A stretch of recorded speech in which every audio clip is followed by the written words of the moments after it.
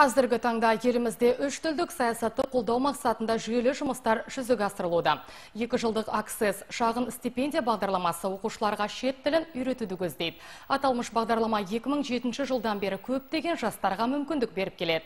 Қазіргі таңда Қазақстанның Алматы, Шымкент, Тараз және басқа қалаларында 12 бағдарлама жүргізілуде. Соның бірі Сайрам ауданында нөмірі 107 мектеп лицейінде ашылды. Оған ақштың бас консулы Эрик Майер арнайы келді. Аксес бұл әлеуметтік аз қамтылған топтардың дарынды жас өспірімдеріне арналған ағылшын тілінде сөйлеудің негізгі дағдыларын үйрететін екі жылдық бағдарлама. 2007 жылдан бері 1700 түлек бітіріп шыққан. Бүгінде шымкент қаласы мен түркістан облысында 14 бағдарлама атқарылды олардың ішінде қазығұрт сайрам ақсукет елді мекендері де бар.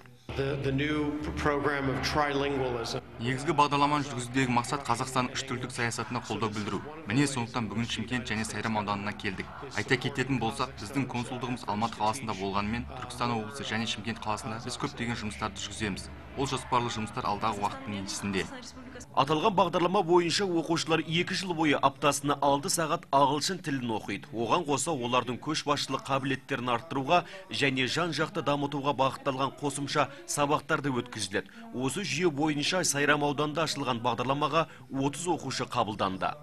Бұл үш тілділік. Бізде үш тілде білім беруні қолдау бағдарламасы деп айтамын. Соның үшін бұның бәрі әрине тұңғыш президентіміз елбасының жолдауларда қойған тапсырмаларыны жолдауларда қойған міндеттерін орындау бағытында жасалып жатқан спонсорлардың инвестиция беру арқылы жасалып жатқан бір іс шара деп білемін.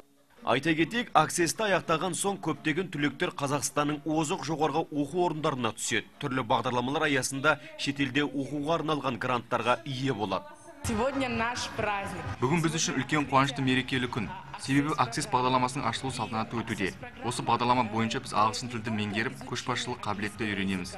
Менің айтарым, тек қана алға жылжу керек. Ол үшін сабақты жақсы оқуға кеңес беремін. Және осы орайда ұйымдастырушыларға үлкен алғысымды білдіргім келеді. Сайрам аудандағы шарада 30 оқушы ағыштың бас консулы Эрик Майердің қолынан арнайы сертификаттар алды. Сөйтіп жиынның соңы оқушылардың концерттік бағдарламаларымен жалғасты. Серғали Жарылқасынов, Батыр Оразбеков, Нұржан Ақжолов, Тұран Ньюс.